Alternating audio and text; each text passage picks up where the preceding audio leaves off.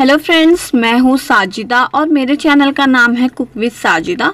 दोस्तों, मैं फिर से हाजिर हूँ एक बहुत ही हेल्दी सी रेसिपी लेकर।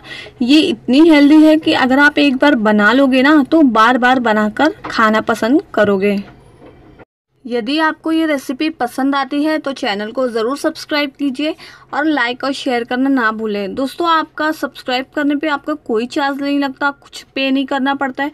बस ये होता ये है कि मैं एक वीडियो जो अपलोड करती हूँ, उसका नोटिफिकेशन आप तक का पहुँच जाता है। तो चलिए स्टार्ट करते हैं आज की स्पेशल वीडियो तो यहाँ पे मैंने पैन को गर्म होने के लिए रख दिया है। पैन हमारा जैसे ही गर्म हो जाए, इसमें हमें ऐड करना है एक कप पानी।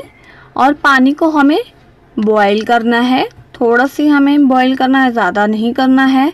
और टेम्परेचर मैं आपको बता दूँगी कि हमें कितना बॉईल करना है, लेकिन कुछ सेकंड के लिए हम इसको बॉईल करने के लिए रख देते हैं। तो यहाँ पे हमें इस तरह का कुछ चम्मच चाहिए।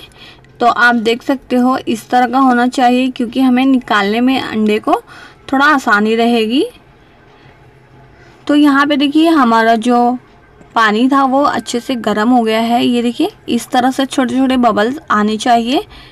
और ज़्यादा बड़े बड़े बबल्स आएँगे तो हमारा पानी जो है बहुत ही ज़्यादा गर्म हो गया। लेकिन ये अभी छोटे बबल्स आ रहे हैं, यानी हमारा पानी परफेक्टली बॉईल हो गया है। तब इस स्टेज पे हमने एक अंडे को तोड़ के इसमें डाल दिया है। तो अब इसमें हमें क्या करना है? फ्लेवर के लिए नमक ऐड कर लीजिए। और इसको बिना कोई और चीज़ मिक्स की, इसको थोड़ा सी हमें पकने देंगे।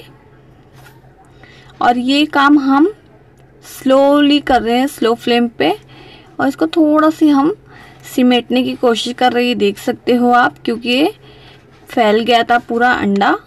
कोई बात नहीं, इसको तो खाना है, बहुत ही हेल्दी वर्जन है दोस्तों, अंडे का ये। और बनाने का भी बहुत ही अलग और बहुत ही बेहतरीन सा तरीका है।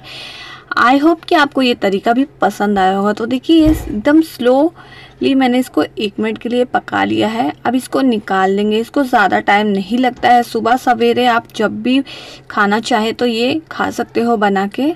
तो अब इसको एक प्लेट में टिश्यू पेपर के साथ आप इसको निकाल लीजिए ताकि थोड़ा एक्सेस वाटर है वो निकल जाएगा। लेकिन मैं इसको अच्छे से इस तरह से छेन कर ली हूँ ताकि वो निकल गया पानी। अब इसमें ऐड करेंगे हम ब्लैक पेपर पाउडर और आप चाहो तो भुने हुए जीरे का पाउडर भी ऐड कर सकते हो, लेकिन मुझे ब्लैक पेपर पाउडर बहुत पसंद है, इसके लिए मैं सिर्फ़ वही ऐड कर रही हूँ। खाने में ये बहुत ही यमी डिलीशियस है दोस्तों, और दिखने में लुक इसका कितना यमी है। और मैं तो इसको ट्राई किए बिना रह नहीं पा रही तो मैं तो ज़रूर ट्राई करूँगी।